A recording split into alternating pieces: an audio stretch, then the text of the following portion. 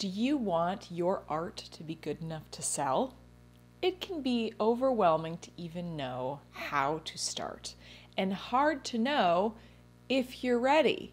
So, in this episode of The Josie Show, I have three practical things for you to do right now if you want your art to be irresistible to your collectors. Hello, welcome to this episode of The Josie Show, where I talk artist to artist about art making and art selling, and where I strongly believe that artists should get paid I've been selling my own art since I was a teenager, and for the last few years, I've had a full time art business with yearly sales in the multiple six figures. So I've learned a few things. The number one thing you need to do to sell your art is surprisingly simple. If you want to sell art, you need to make art. I know, you're amazed, you're shocked, but you'd be surprised at how many artists struggle to actually create the art in the quantity needed. It's a real sticking point for people. The creative process is far more alive when it's responsive rather than cerebral. True story, I was talking to an artist who wanted to sell her work, and I was asking her what her work was like.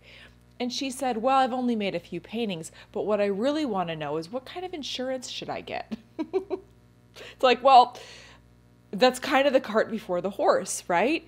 It's the process of making, getting your hands dirty, having some failures, wasting some paint. That's the only way to move forward. It's so easy for art makers to just get stuck in their brains.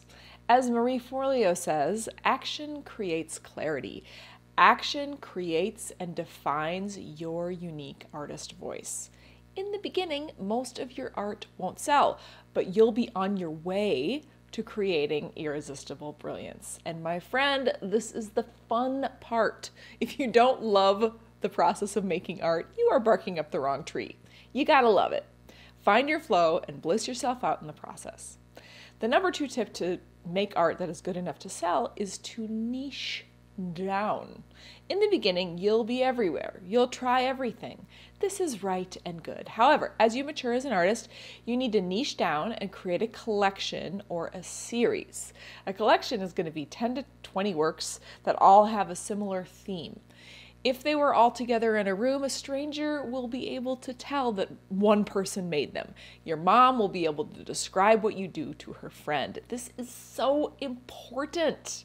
And so many artists lack this vital discipline. Remember, a niche is not a jail sentence.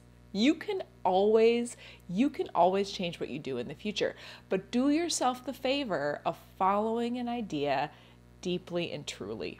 If you exhaust it and it's not fun anymore, try something else. But you will need to have some themes developed in order to get an audience to know, like, and trust you and your work. You start off as a stranger, and if you are coming in heavy with something different every day on social, your audience or your potential audience will find this very dislocating and difficult to connect with.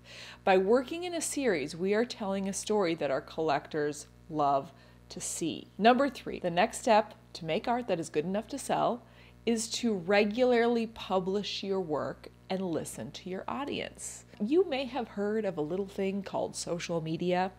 Your private art practice is all about you, but developing consistent art sales requires a bit of give and take with your audience. There are lots of ways to listen to your audience. In real life, you can have an open studio or have trusted friends over to discuss your art.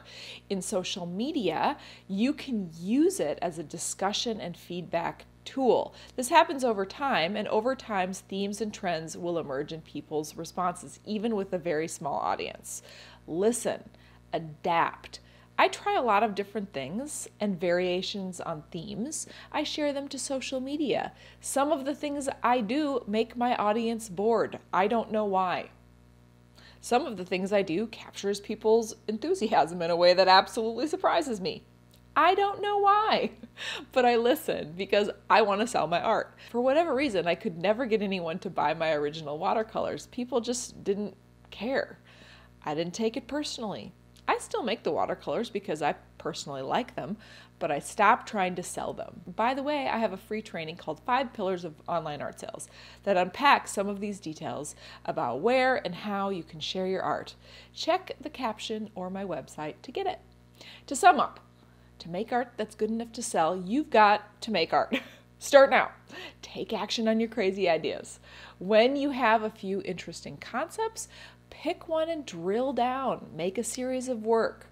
I'm telling you, this works. It will make you a far better artist and it will make it much easier to sell your work. This will go a long way in making you more discoverable on social media. Number three, communicate, get feedback, and don't take it personally. When you have developed your voice by creating an art habit, made a series of works and published them, and corresponded with your audience over time, I guarantee you will start to sell your art. Where are you on this journey? Have you developed any series or collections yet? Why or why not? Put your comments below, and I'll see you next time. It will go a long way to making you more discoverable on social media. Oh my gosh. Oh my gosh. Oh my gosh. Ryan. Oh my gosh. Oh my gosh. Ah! Holy buckets. Listen, you mangy mutt.